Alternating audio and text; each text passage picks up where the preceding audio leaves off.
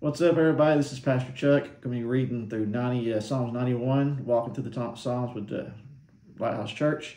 Here we go. He who dwells in the shelter of the Most High will abide in the shadow of the Almighty. I will say to the Lord, my refuge and my fortress, my God in whom I trust, for he, he, he who delivers you from the snare of the trapper and from the deadly pestilence. He will cover you with his pinions, and under his wings you will make sake you may seek, seek refuge from his fullness at the shield and bulwark. You will not be afraid of the terror by night, or the arrow that flies by day, or the pestilence that stalk in the darkness, or of the destruction that lay waste at noon. A thousand may fall at your side, and ten thousand at your right hand.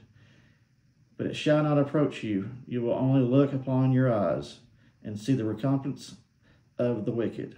For you be made so you have been made by the Lord my refuge, even the Most High, your dwelling place. No evil will befall you, nor will any plague come near you. For you will give the angels charge concerning you to guard you in all your ways, that you bear up in their hands, and you will not strike a foot against stone. You will tread upon the lion and the cobra, the young lion and the serpent you will trample down because he loves me. Therefore, I will deliver him. I will set him securely on the high because he has known my name. He will come upon me and I will answer him. I will be with him in trouble and I will rescue him and honor him.